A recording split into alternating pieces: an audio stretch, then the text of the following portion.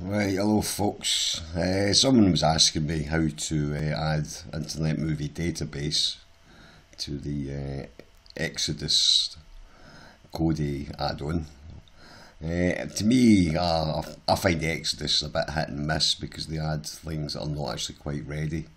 So to me, this actually just makes the add-on very usable and really good. So I'll start waffling. Uh, so what you do is you obviously you create an account, and then once you've got your account, you go to your lists,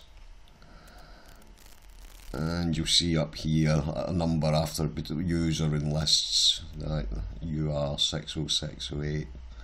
You can actually, I think, just copy that. So I've done that. So then back to that, we open up Exodus. I'll show you another couple of things I would advise you to do.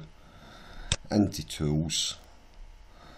And it's Accounts, I believe. And there it is there.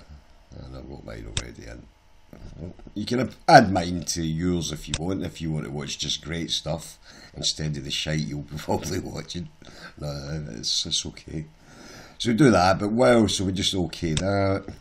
Trakt and things like that, I don't know, I found it a bit nippy, so I, I find this just quite handy.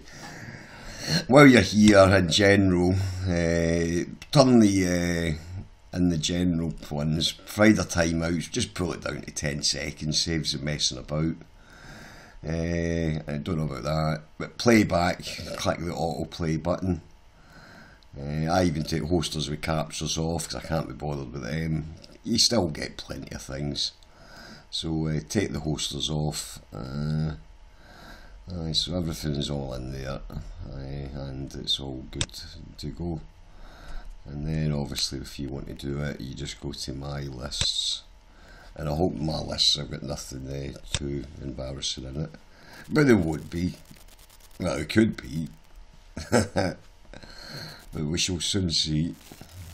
Uh, they don't everything. Obviously, you can have everything that uh, you want in the world, but sometimes uh, you know it just won't play.